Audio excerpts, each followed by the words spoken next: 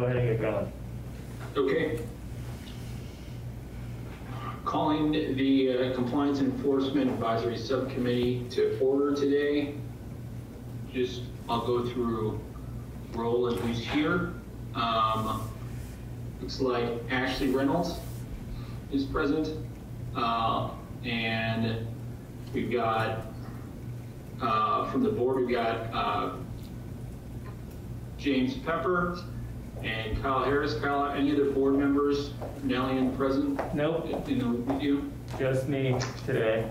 Uh, Julie, Okay. Julie's watching actually, she just stepped out of her office, so.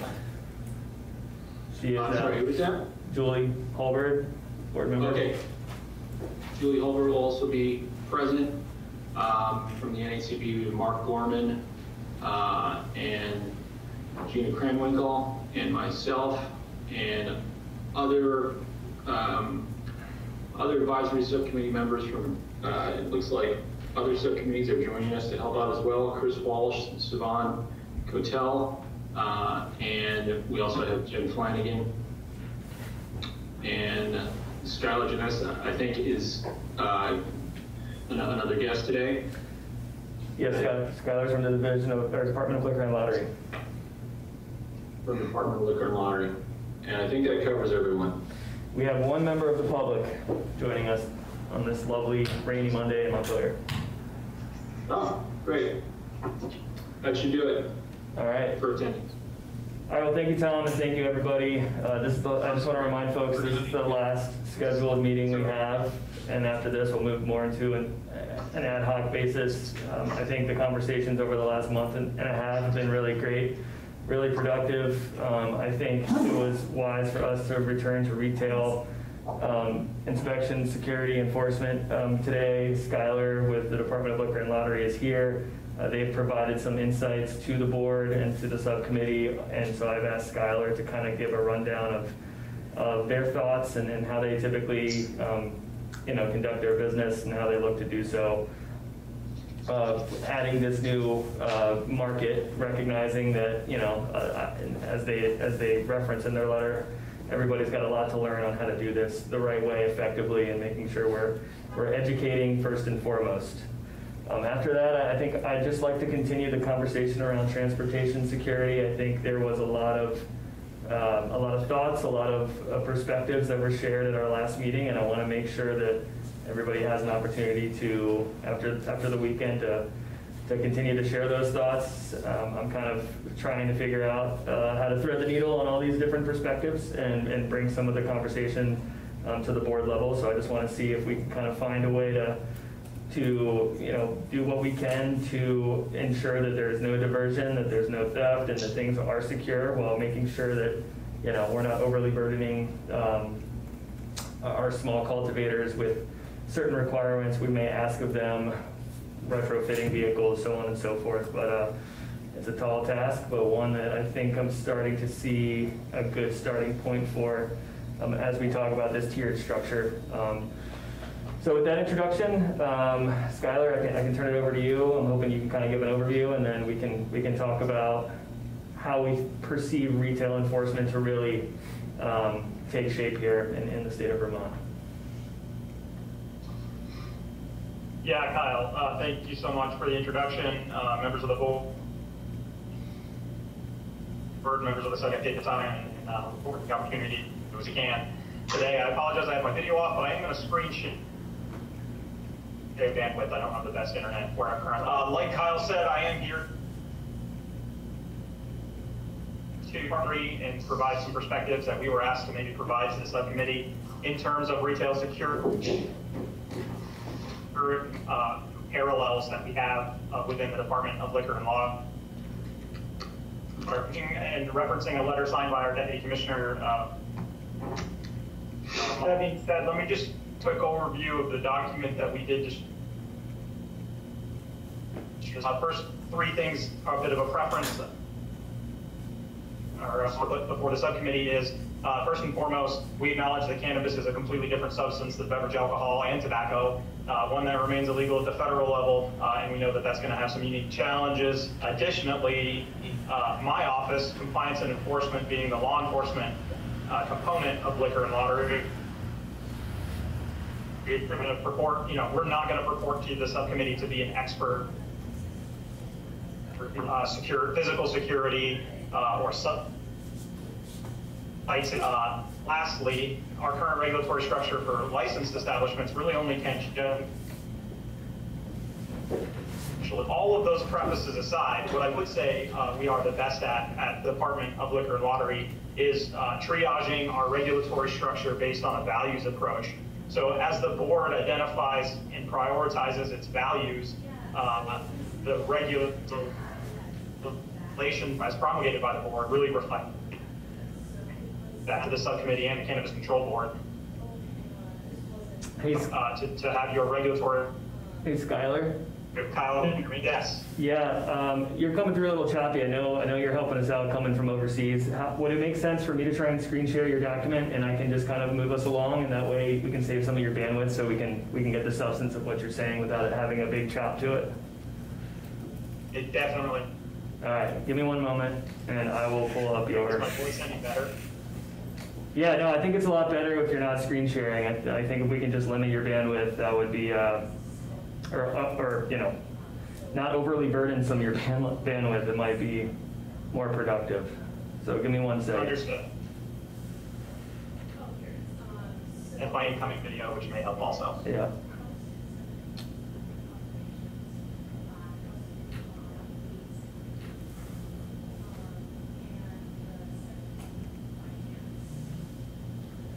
Perfect.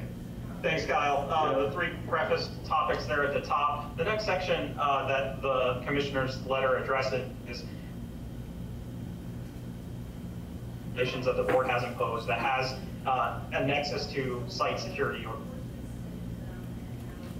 Be very clear, none of them are going to directly be very and, and uh, prescriptive regulations around site security. All of them are tangential, and we, we put them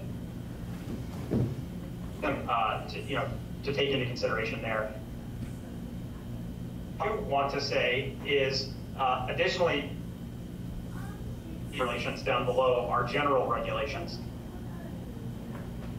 As I've mentioned on presentation before this board, uh, we strongly believe, even with uh, physical security, robust education uh, because we've know, we've learned time and time compliance programs and, and really strong data that there is a direct lack of training and increased incidences of on a licensed premise. So if you can educate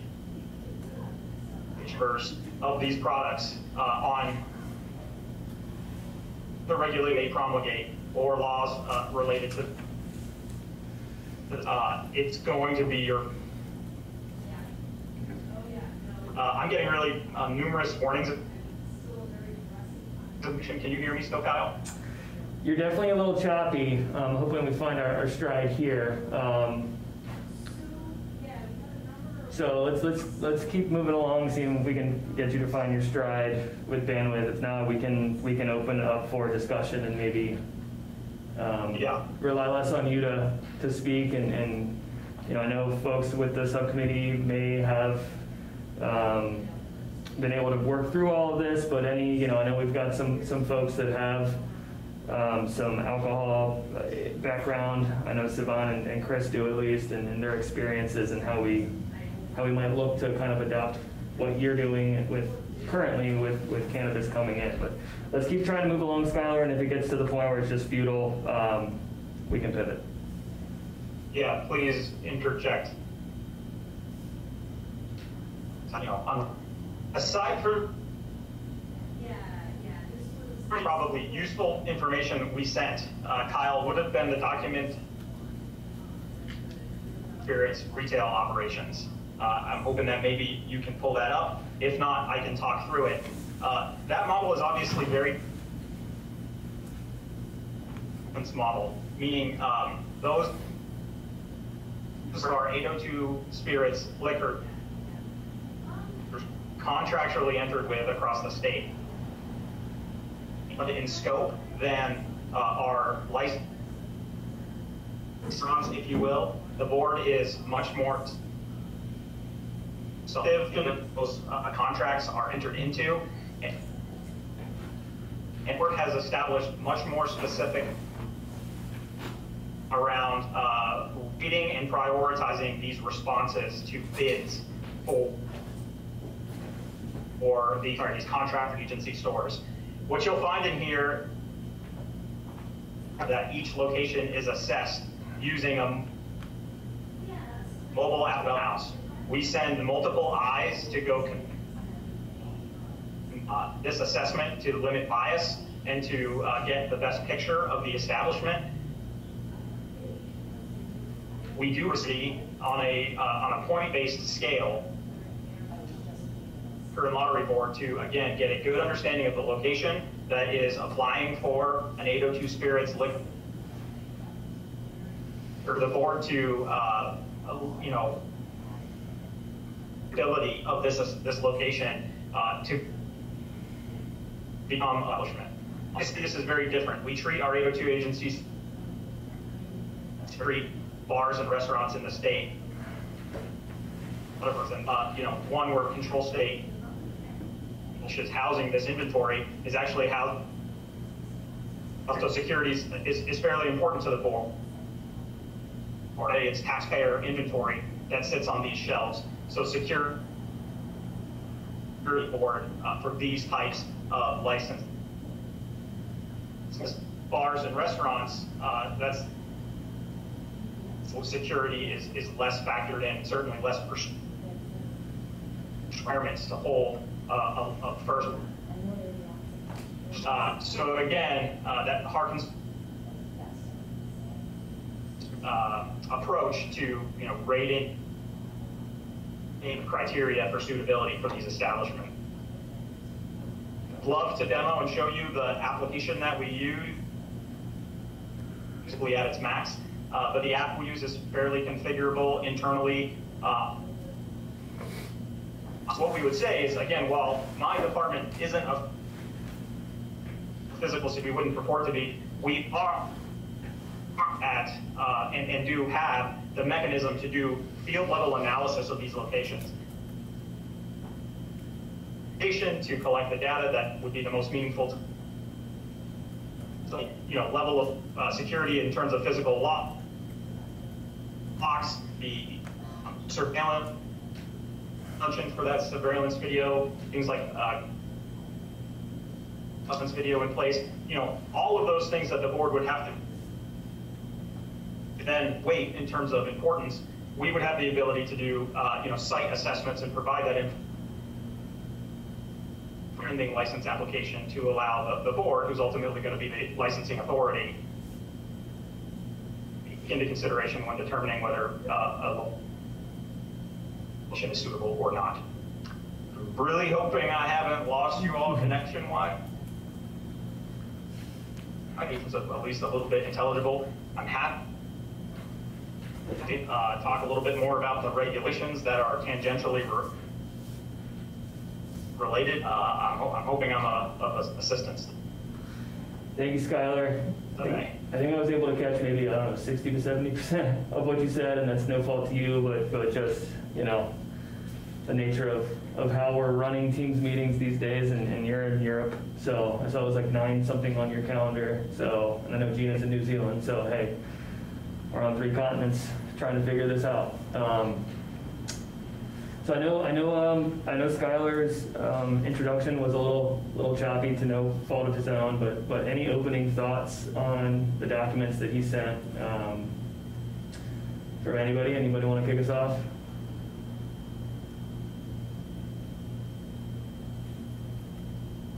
I, I can give us some thoughts, Kyle. Thanks, Ivan. Um, and yeah, it, it was helpful, um, even though Skylar's audio was choppy, it was helpful. Um, I assume most of us probably read the document they sent beforehand, so you know, kind of could tell what he was referencing even when certain sentences were truncated. Um, I thought the, the, the, letter that, that Wendy and Skylar sent beforehand um, was helpful in highlighting uh, the, the balance, the, the, balance that DLL has had to navigate and the same balance that uh, CCB needs to navigate now of, you know, what's the right level of high touch versus low touch. right? You know, how, how in-depth are you trying to be? Um, and uh, the letter highlights a couple of things that DLL has done pretty well when it comes to certain things that, you know, establishes that the licensee needs to do X, Y, or Z, but doesn't necessarily specify how they have to do it. Leaves that to discretion. You know, like the, the intentionally vague paragraph in there that was highlighted in the letter about you have to control your establishment and control the conduct of, you know, patrons at your establishment. It doesn't say what that means, but it puts the onus on you to make sure that your place is not unruly and that you don't have people getting into fistfights, right? And, and so I, I think that that highlights well some of the things that um, it's helpful to make them explicit, but also helpful to put the onus on the licensee to figure out what that means for them in their business.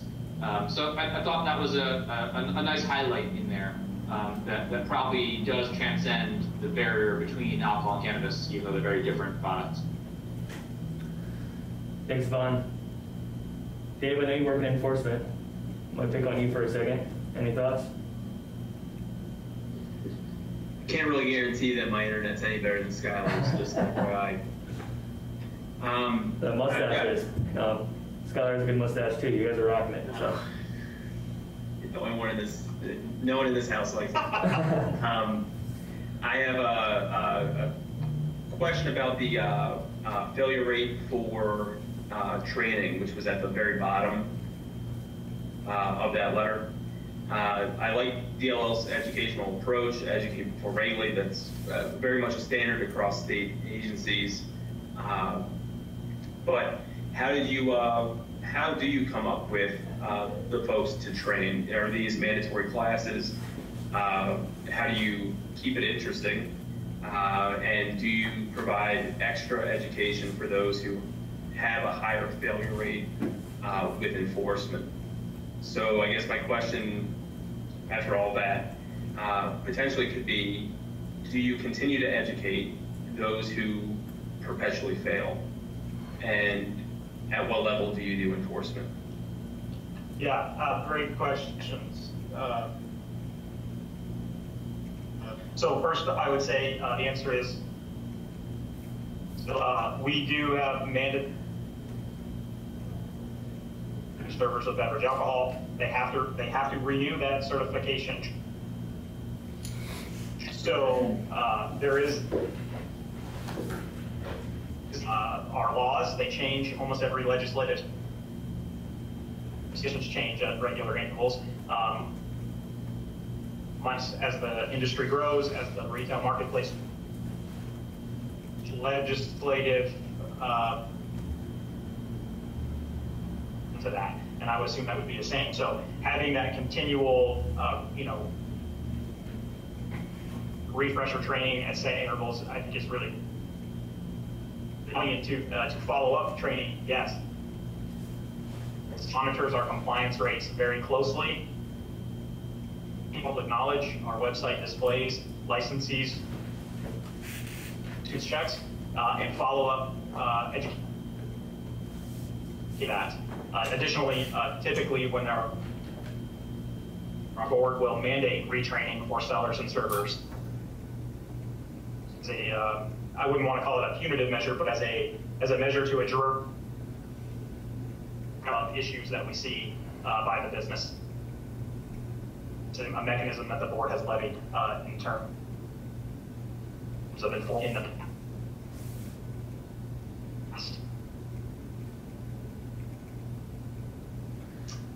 Thanks, Skylar. Dave, did you get what you needed out of that?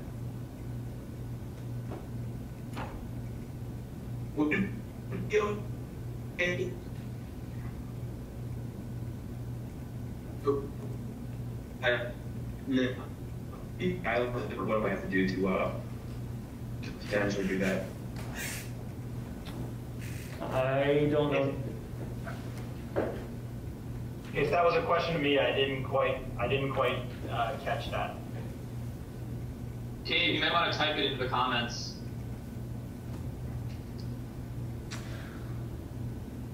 While we're fighting some tech glitches on a Monday, anybody else have any thoughts? Ingrid, based on your background, do you have any, uh, any thoughts on retail security enforcement inspection?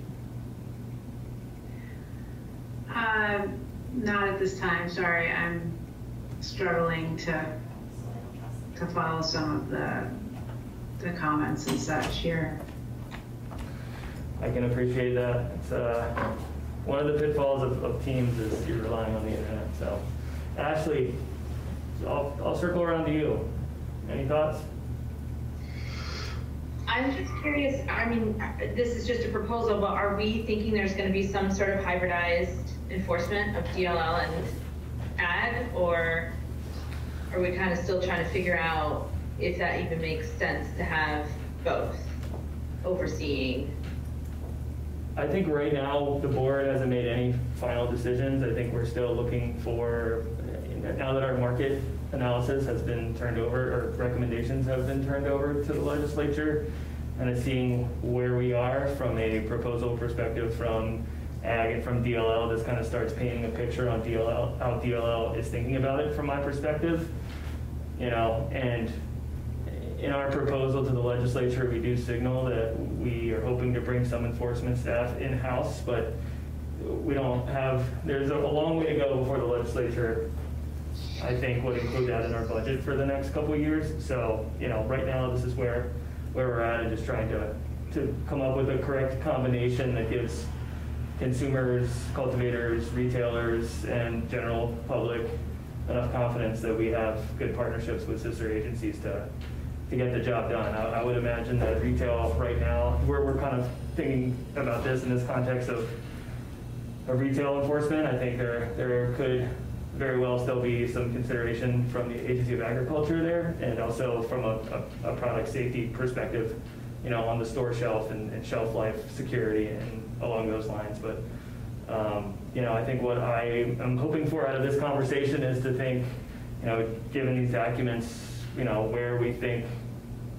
DLL might be a strength to the board, um, and where ag continues to be and will be a strength to the board when it comes to retail end of things. So hopefully that's some good table setting. Um, but I, I can appreciate how there's still some uncertainty on how we're trying to, to fit the puzzle together. And I like the idea of perhaps, you know, thinking about sort of how this is going to roll out, and so much is going to be based around quality assurance, making sure that we know where things are grown, how, you know, and so forth. And then I, I could see a really nice hybridized training happening for these potentially new enforcement officers. It seems like DLL definitely has the experience. Um, I'm just hoping we can see some kind of adaptation to helping ag specifically with that. Um, Tom, I see you.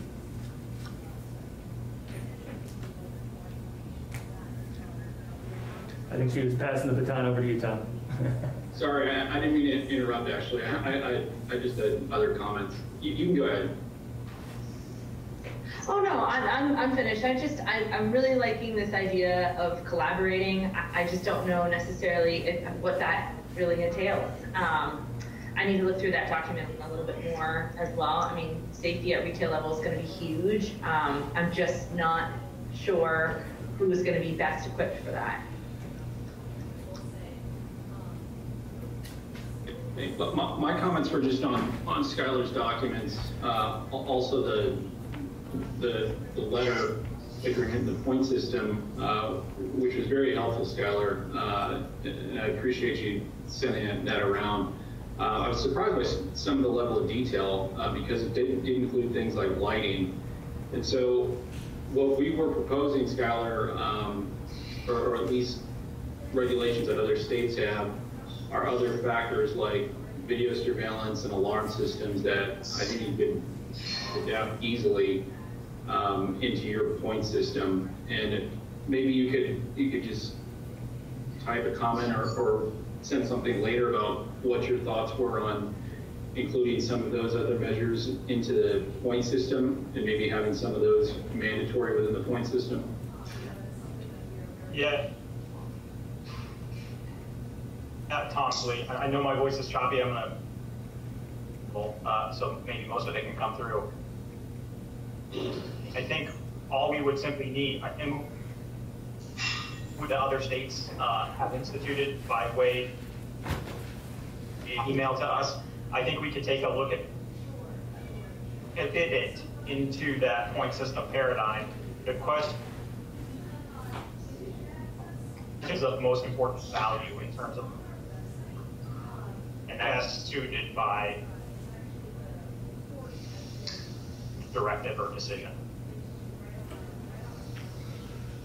Thanks, Skylar. I think I caught a lot of that. I, I totally agree with Tom. You know, we've been talking about tiering this for certain businesses. I think this point system of, of trying to reach a certain goal with your, your points to be able to be considered in compliance and successful as a retail storefront kind of follows a similar path to how we're talking about security and other portions of what we're trying to do here. So I really appreciate the detail there as well. Um, Savannah, I see your hands up. Yeah, uh, since we're talking about the, the point scoring system, I just want to highlight the difference between alcohol and cannabis. Um, DLL uses that system for evaluating the agency stores, i.e. the stores that we all see we drive around and say Vermont Liquor Store, right? Because those stores are run by private uh, businesses, but those businesses do it as agents of the state. And so the state uses that system to require they meet a certain standard.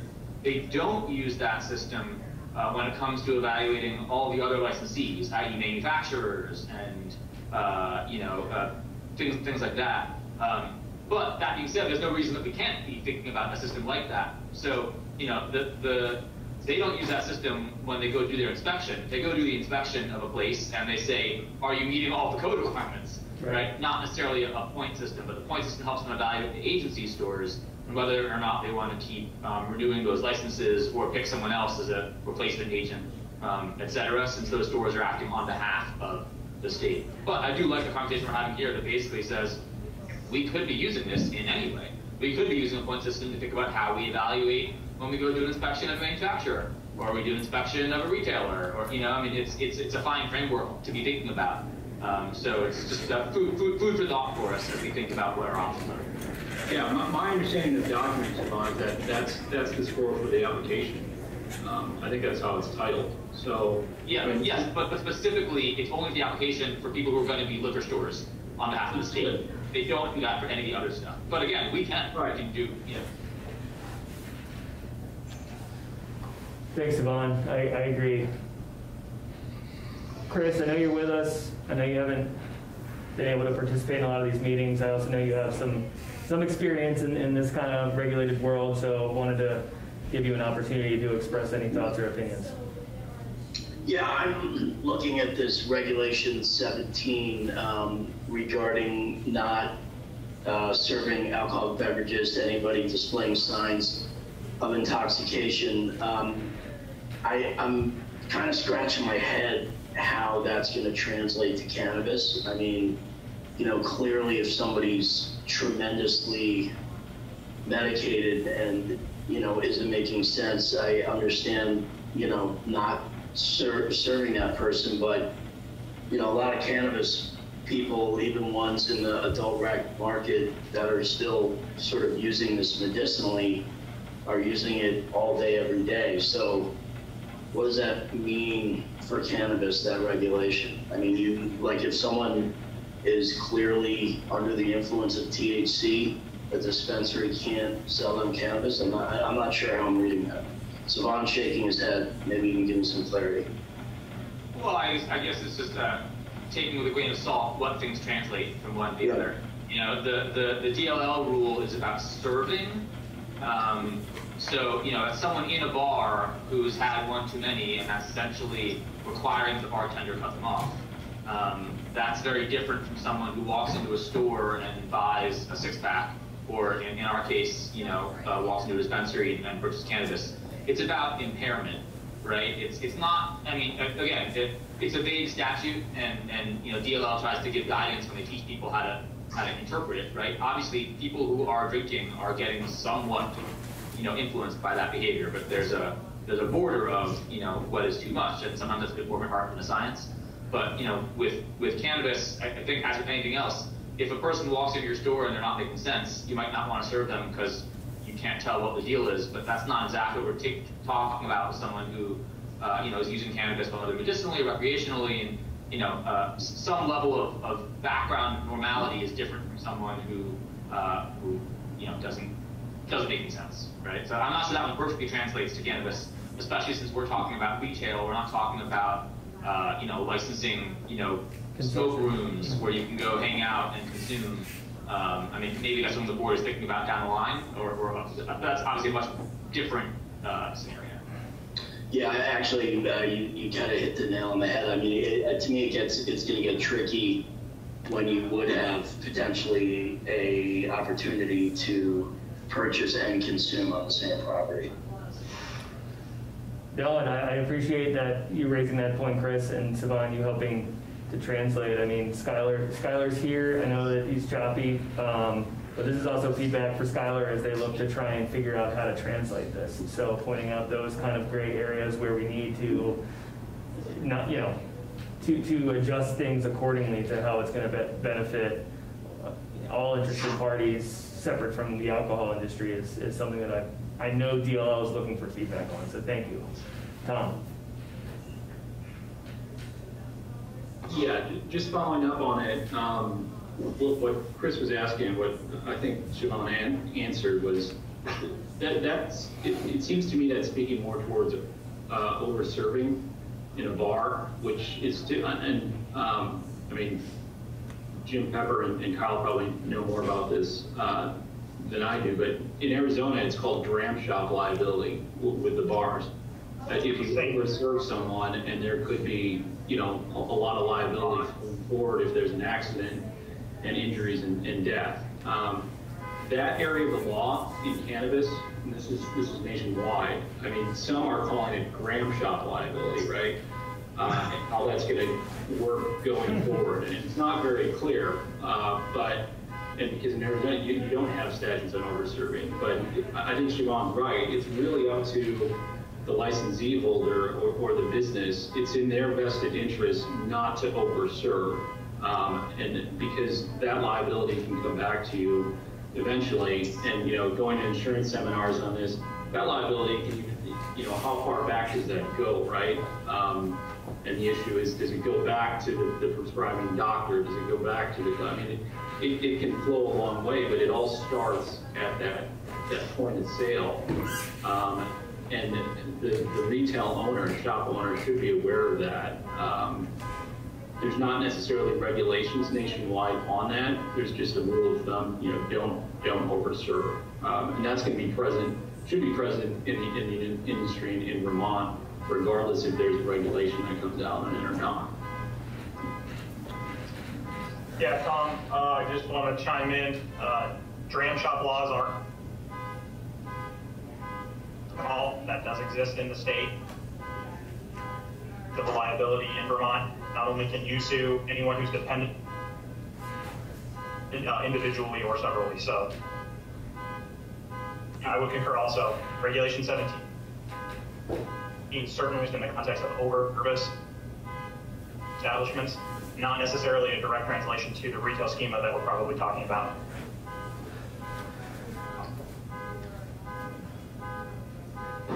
Thanks, Skylar. And, uh, and just so everybody knows, the on-site consumption lounges will be explored in our exploratory committee.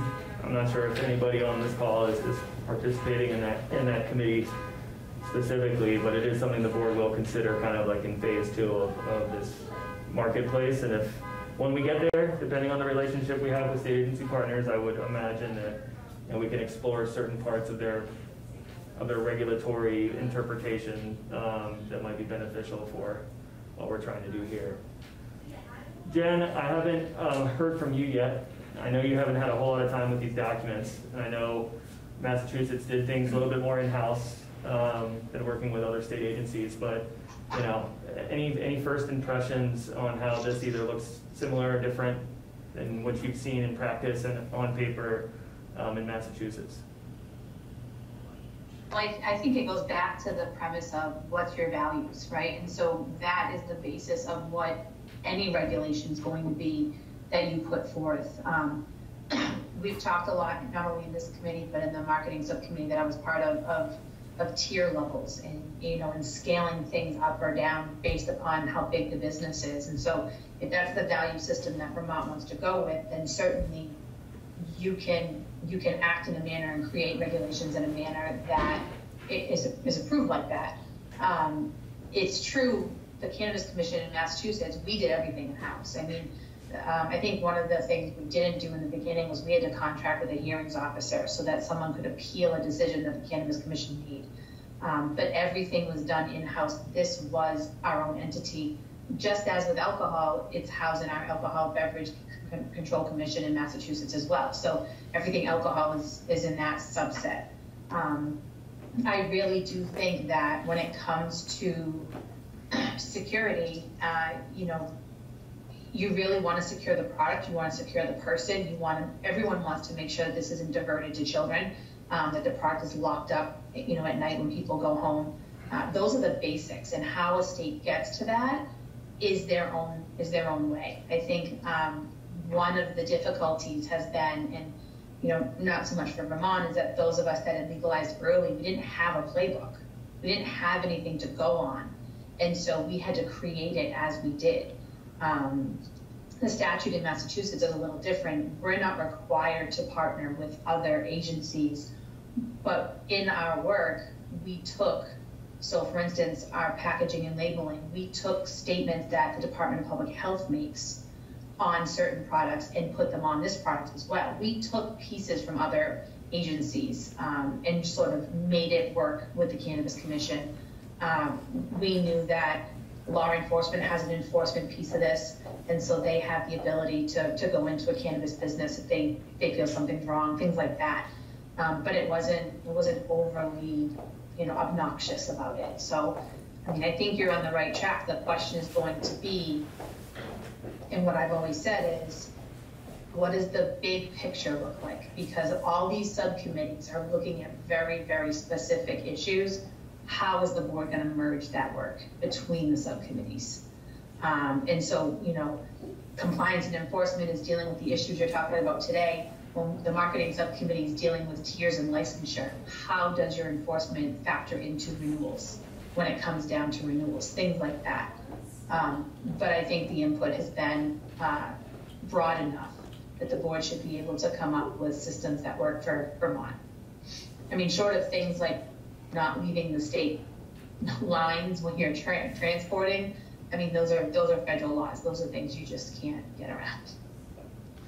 Well, thanks, Jen. And I think if I think about the work of, of every subcommittee, but, but this one specifically, I think, and I know we haven't taken a general consensus or vote on every single thing that we've done, but I think one of the things that we can uh, arrive at a consensus on right now is that this does need to have a certain tiering system within it for security. We've, I've heard this in outdoor security, maybe less so in indoor cultivation security, but in the retail context and the transportation context, that the board needs to really look at its regulations on par with, with how we're tiering out the market structure.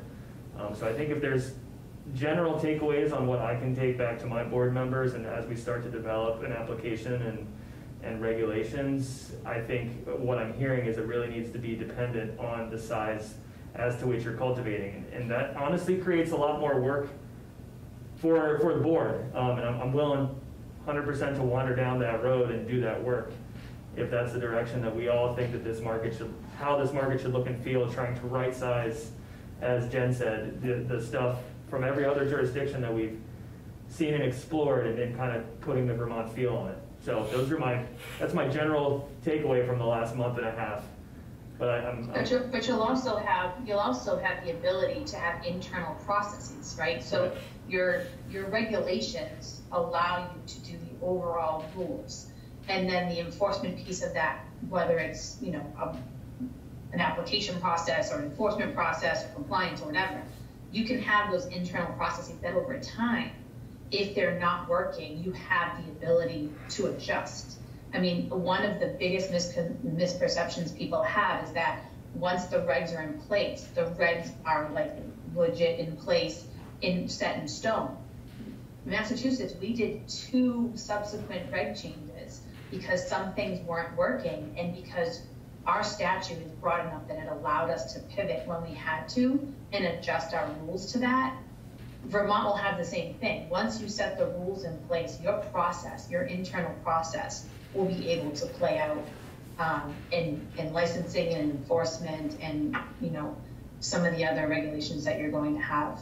Um, I can imagine that one of the things that's going to have to adjust is, is energy efficiency. If the legislature passes any energy bills, because a lot of people are doing climate change, that's going to affect the cannabis business as well. And so things like that are just going to have to evolve over the next five to 10 years. Absolutely, and that specifically is something I've been working with the sustainability committee on, so I think we're, we're on a, we're on a good track there. Skylar, I see your hands up. Yeah, I just want to jump on on to Jen's comments and Jen's comments would just be that I, I, I agree with every, important to mention uh, that with an evolving regulatory landscape comes that much more. So I just consider that as the rules change and grow, as they, important that you can uh, push out that in to your retailers so that they can understand it. And then, and Kyle, uh, it, the more prescriptive, the more important we believe uh, a, a strong uh, regulatory inspection model is,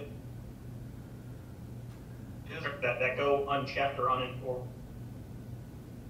are really they're not really worth the, the paper that they're written. Must echo both a really strong education regulatory inspection model. Thanks, Skylar. Pretty sure I caught that. Sivan? Yeah, like Skylar, I also just want to totally agree with Jen's comment that I would essentially summarize as uh, this is a living document, right? Um, regs change and laws change. And Skylar actually mentioned that earlier, and he kind of brought it up again just now, but he mentioned earlier that, uh, you know, part of the need for education comes from the fact that the alcohol laws change every year. That's actually true. And DLL's regs don't necessarily change every year, but pretty much every year there's some alcohol omnibus bill in the legislature that passes a couple changes. And it may be changes that were you know, requested by industry and DLL and the legislature thought they were fair, or maybe the opposite direction. Maybe something the legislators wanted or DLL wanted. But you know, every year there's some amount of probably five or ten things that change in alcohol law, and that ends up giving rise to yes, that, that need for constant education. Um, so yeah, to Jen's point, things change. CCB can rewrite the regs at any point if they want to. Obviously, you don't want to do it all the time, you know. But if things aren't working, yeah, you can change them. And certain things will be big enough that CCB doesn't have power on its own to change them. They need to go to the legislature, but I'm sure that will happen. And the same way that DLL brings suggested changes to the legislature every year, CCB might do the same things, whether it's every year or not.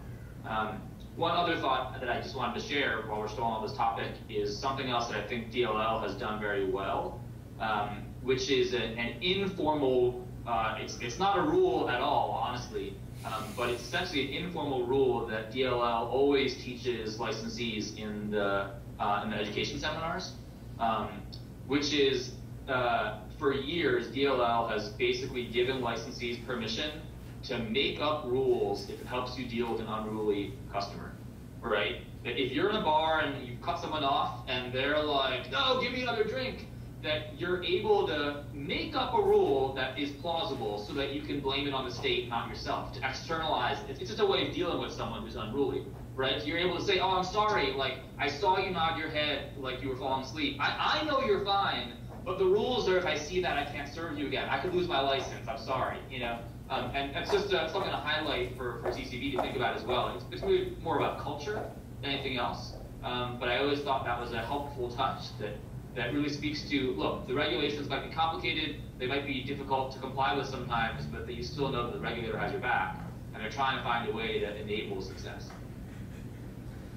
Thanks, Sivan.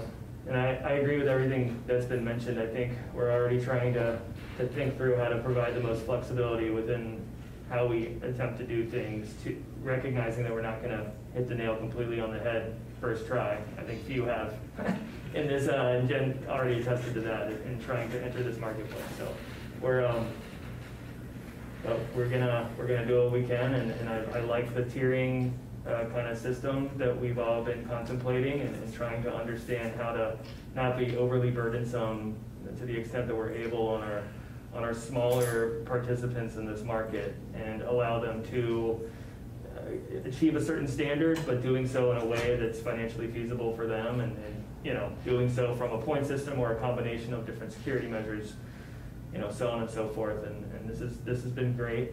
Um, Skylar, thank you so much. I think, I think this helped inform Skylar's thoughts on how to approach this moving forward as well. And we'll continue to have conversations with DLL. Um, um, I, I want to quickly try and pivot back to the transportation tiering system. I, I didn't know if anybody had any final thoughts. We were very fastly running out of time last Thursday, and I rushed to get a waste conversation in that uh, we had been pre- predominantly talking about in the sustainability waste context. Jen signaled that that was the appropriate place to talk about most of it, and I'm appreciative of that, but I wanted to give anybody any final thoughts on, uh, on, on the internal transportation of, of cannabis between different stages in its, in its life before it hits the retail shop, um, to share them, and then I want to move on to public comment and and adjourn the meeting. Ashley, any final thoughts? You're the first top left on my screen, so.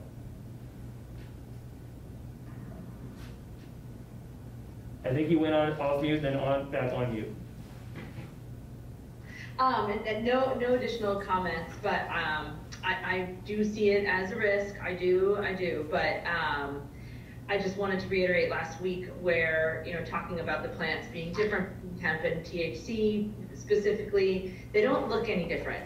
And so whether we're transporting hemp or we're transporting cannabis, THC, high content THC, the plants look the same. So I regretted not mentioning that last week and wanted to make sure that we state that. Thanks. Thanks, Ashley. And I know, I know, I know Gina's here. Um, I know, Gina, you had mentioned that this might be something that you would consider talking with the social equity committee about, and I don't know. I know we're all crazy busy. It's so hard to pack content into these hour-long meetings, but I don't know if that's a conversation that's been had in that, that committee, or if there's a plan to before we kind of do this initial phase one wrap-up. Yeah, so we spoke to the subcommittee on Thursday and they said they would be happy for social equity delivery licensees um, to deliver for other sectors of the industry um, with cultivations if they weren't able to do it on their own. So, so essentially, they would get first, first shot, first crack at, at that kind of ancillary part of this industry if, if that specific company or organization can't deliver the product themselves be, between um, parts of the supply chain. Just want to make sure I understand correctly. Yes. Okay. Yes, exactly, Kyle. Okay. Well, I don't want to, I don't want to belabor it too much if you've already got, got smart inquiring minds thinking about it in that committee. I don't want to, I think it's a, I think it's a good idea, um, interesting idea, and interested to learn more on, on how the committee feels about that. Um, any, any final thoughts before I turn it, uh, over to public comment? Actually, we don't even have anybody public in the room, so we can just keep going. Our one, uh, member of the public has left, left the room. So, any final thoughts on, on transportation and where we should start as a, even as a baseline for small cultivators? I guess from my perspective, what would really be helpful is if I could hear, if, if there's one, I, I'm thinking maybe like a lock, a lockbox of sorts, I'm using a general terminology. If there's one baseline security measure that our small cultivators can do that's not overly burdensome where they need to retrofit their truck with expensive equipment, so on and so forth, what's the one baseline security measure that we should include for, for anybody, no matter the size of their, of their, um, of their business? Anybody have any thoughts? Ingrid? Well, I think you said it, I think locking, locking it down comes to mind, but I, I'm curious what Ashley and other folks think. I appreciate that, Ingrid. Um, I mean, locking the vehicle, I think is enough. Locking the product physically down inside the vehicle. One thing that's been a huge issue for us is like compliant um, containers that don't leach um, harmful chemicals or other different who knows what um, from, coming from these plastics. Um, there's been a lot of issues out west where the flower is grown organically, it's tested organically, and then it's tested again before it's consumed, and that's where we're seeing hits for these different contaminants. Um, we've come a long way. There's definitely new packaging coming out every day, but with these supply chain issues that we're already seeing, um, with products that are plastic products, it doesn't have to be plastic product, I know that's one of the easiest. Um, but there's already such a shortage, there's already such a difficulty in getting these things that, um, again, I just, I don't want Vermonters to be out of luck because we can't get compliant packaging or compliant, um, contain locked products physically inside the vehicle. Um, I think a lot of us are most concerned about keeping it the right temperature, uh, making sure it's not subs, um, that it's not subject to heat for some long periods of time. So making sure the vehicle has some kind of air conditioning or some sort of refrigeration to transport. Um, but no, I mean, lockdown is tricky. And like, what does that really do? Like, okay, you break the windows and then there's another level of security that, that doesn't allow you to get the product. I mean, sounds like what we're talking about for transportation, like they're not even gonna be able to leave the vehicle. Or there's gonna be someone else in the car that's inside. So it just, it seems a little bit redundant. Um, so that's kind of my comment there. Thanks, Ashley. Any other final thoughts?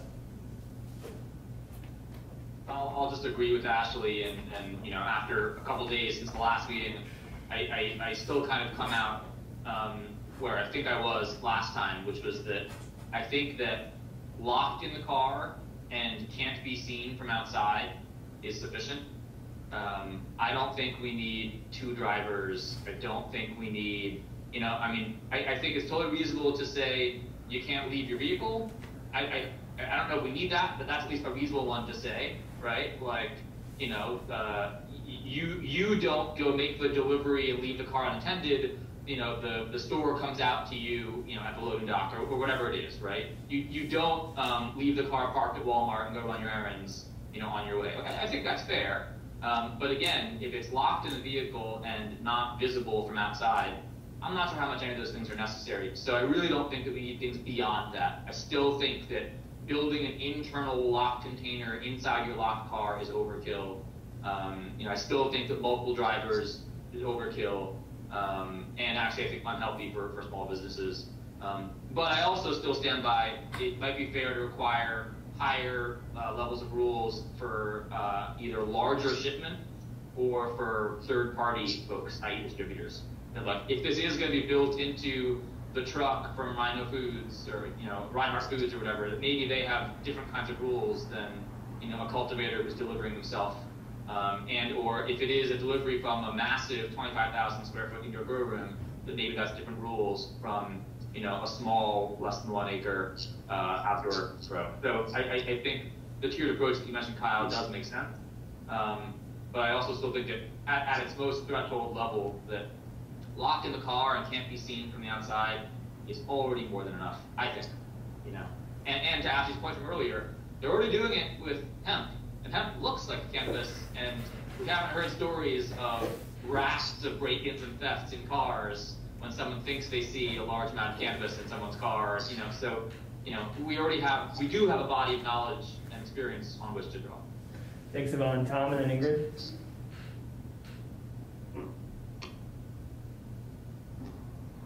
Yeah, th- thanks. Just to respond to, to those two comments, and then I mean, my main comment is, uh, I think it's still important to have the manifest and to extend the, the tracking, the seed to sale tracking and tracing system throughout the vehicle. Um, I, I think that's, that's mandatory in, in every other state.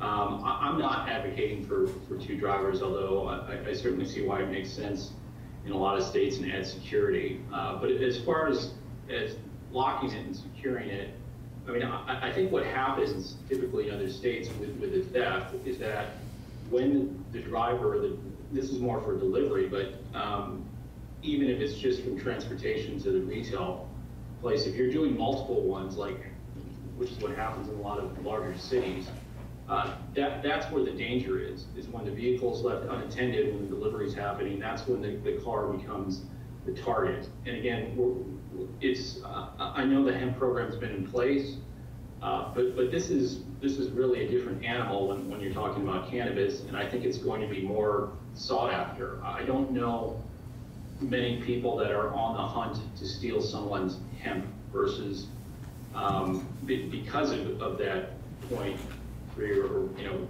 one percent threshold that you have. Um, but I think it becomes a lot more desirable just as a, even cash value when you're talking about cannabis. And yeah, if, you know, if, if, again, I don't have a criminal mind, but if, you know, it makes sense to me to, to target cannabis more than it would hemp, um, and not go after the big truck that, that, you know, is advertising that it's in there. But if you know when some regular deliveries are, uh, that's what I would go after. Um, just like I wouldn't go after if I'm gonna steal something, the big farm by the side of the road, I'm gonna find the one that's, you know, off in the dark somewhere that's not fenced.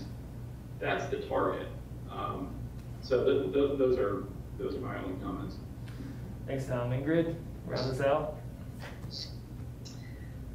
Um, more of a comment, I just wonder, and maybe this is a bad comparison, but I think there's statute already around how medical marijuana can be transported, and I know it's different means, I just wonder if, I think there's a locked container mandate for, um, medical marijuana, so I just, I'm just noting that if we're not requiring any sort of locked, and I hear what everyone's saying about it. I certainly um, think those are good points. I just wonder about that disparity. Yeah, without being. It may not. without being intimately familiar with, with the medical program and how you transport that product with, within the supply chain, but also there, there is delivery from medical dispensaries to patients. Um, And they do require a lockbox, but, but if, I agree, if it should look similar, depending on, and, and that's not to say we would adopt the medical, the current meg- medical regulation, but just to bring consistency throughout both sides of the market, um, when we do make some decisions around delivery. And Dave? and Ingrid, I Go ahead. got the medic, so, Pardon? I've got the medical subcommittee in an hour, so I'll, I'll confirm that and I'll, I'll let everyone know. Dave? Uh, thanks, Kyle.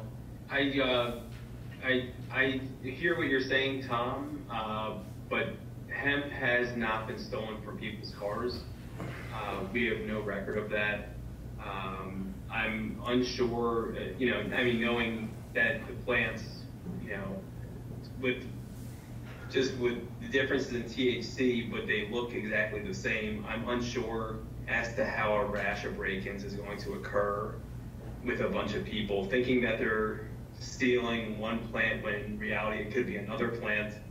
Um, I just haven't heard of this happening. Have you heard of this happening in other states? Sure. Um, you know, where people are looking for cannabis and they're actually getting hemp plants because they've broken into a car. No, I, no, I, I- I'm not surprised that there aren't a rash or reported hemp thefts. I'm just, now, to the extent that, um, someone might know, not know the difference between hemp, um, and, and cannabis, um, I, I, I don't know. Uh, thi- This is more in the context, David and, uh, Sivan, of, uh, delivery for, for cannabis, um, which you don't really find with, with hemp. So there isn't, there isn't kind of the, the confusion that, oh, I, might be knocking off a, a hemp delivery instead of a cannabis one. I mean, they know, they know that it's, they know that it's cannabis. Um, so that, the, the situation you're describing, or what you're asking me to report on is, yeah, maybe someone mistakes hemp for, for can, I, I'm, not aware of that either. It's usually in a deliberate context where it is going to be cannabis. Does that make sense? I mean, it, it does. I, I understand what you're saying. It's just that, you know, working in the hemp field as far as regulating it, it's not uncommon to see a pickup truck with a load of plants in the back of it driving from farm field to farm field. Nobody bats an eye. Uh, nobody is going. Everybody here already has like a gun in their car, uh, for one thing. But for for another thing, uh, I just haven't heard of anyone doing that. Uh, it, and I don't have a criminal mind either. I certainly am not advocating for anybody. Yeah, it seems like Ashley does. I, I wouldn't think that. Um, but I, I just haven't heard of anybody doing this. So I, I just want to make sure that this is a real example that you're talking about, and it's not something that has, has not happened, or, you know, maybe Jen, can you weigh in with hemp and people breaking into vehicles during transport, thinking that it's a cannabis plant? Or other way around? I mean, I don't think there's a lot of reports that are saying that, that that happens everywhere, but I think not to be the cynic in the room, but as the regulator, you have to think about both sides. You're, you're protecting the plant and the personnel. So you're protecting the employee and the plant, right? And that's why whoever your, your driver is going to be is going to have a plan in place that if something does happen, this is what they're going to do. I think on some level, the public's watching. They know it's not legal yet. They know it's going to be legal soon. They know when Vermont is going to do their, you know, their first delivery um, or what have you. And so you have to just be thoughtful or mindful of that. Is that you're going to have this um, on the road. You're going to have trucks that are driving down the street. I mean, some people go to the extent as to have dummy trucks. Like there's multiple trucks that look the same, so the public doesn't know where the plant is. And I think on some level, it, it's not to try to have a criminal mind, although sometimes I, I try to think what they're thinking at the time, being a, a psych major. Um, but what could happen, to, you go back to those values. You protect the plant and the personnel. And at that point in time, what do you do about that? One, you have some sort of level of security. Two, you may have, you know, no signage on the car. Um, it's not as simple as throwing a bunch of plants in the back of your car and thinking that they know it's coming from a farm and nobody has any questions about it. Because uh, at the end of the day, this plant is worth more than hemp. This plant is worth a lot more. People are paying a lot of money given, and I mean tax wise and all that. People are paying a lot of money to purchase this product, and no amount of taxes seems to stop people from that. Even though there's a lot of complaints that there's high taxes, it's not preventing people from buying. So it's more than just hemp versus cannabis. It's go back to the value system and do you protect the plant and the employee? Yes, David, just to follow, I, I, don't, I, I'm shocked that there's any hemp theft whatsoever, or that you'd have any record of it, just given the nature of the plant. But clearly you did uh, in early September, uh, when they knocked off that, that other farm, like 50 stalks and however 200 pounds of whatever. Um, I mean, that, that did happen in, in Vermont, um, and there weren't any safety regulations or anything in place. And to me, that's even more attenuated than, you know, the transportation of, of hemp that's already been harvested. Um, so it, it, it, does exist, even for theft of a hemp crop that was planted. So I, I can imagine more people are going to, there's going to be more demand uh, on the criminal side for something that's already, you know, sitting there waiting for you in a vehicle. I'd be curious if there's an insurance um, requirement, if the insurance companies requires a level of security for the car or the vehicle, whichever.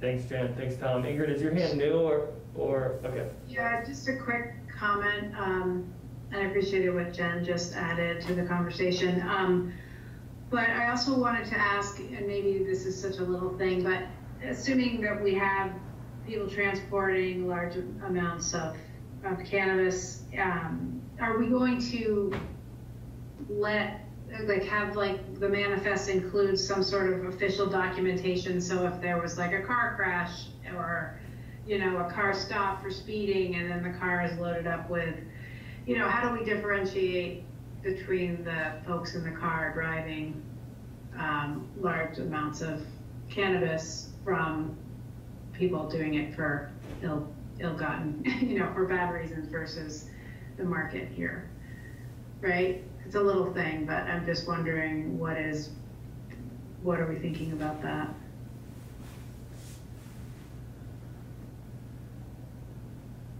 I'm, I'm not sure who that's a specific question for, or just a general comment, but I think that there would, there would be, Yeah. you know, ways if, if there is, as Tom said, the manifest might be important to include the seed to sale tracking component of that to make sure that folks that are still working in the illicit world, transporting it, trying to pass it off as a legal product, you know, so they don't have a complete, you know, defense if they are stopped to say, hey, I'm working legally, there needs to be some way to trace it back to, you know, it was grown by a license holder, transported by a license holder, so on and so forth. So I can appreciate that comment. Sivan? just to put a nail in the coffin on, on the, the hemp discussion earlier, I just want to clarify, I think that what I was saying, I think that what David and Ashley were saying was that we don't see this type of behavior in hemp overall, and that, uh, uh, someone who does have that criminal mind, and all of us are professing not to have, for the record, I don't have one either, um, that someone who does have a criminal mind doesn't know that that is him. That was the point. The point is that there have been lots of, uh, opportunities to tempt people to think they're stealing a lot of cannabis when they weren't, and we haven't seen a rash of that behavior. So just, just, just putting a final point on that, that commentary. Thanks, Sivan. Ingrid, is your, is your hand up again?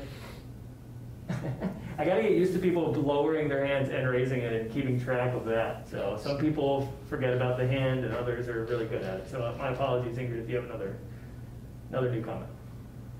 Nope.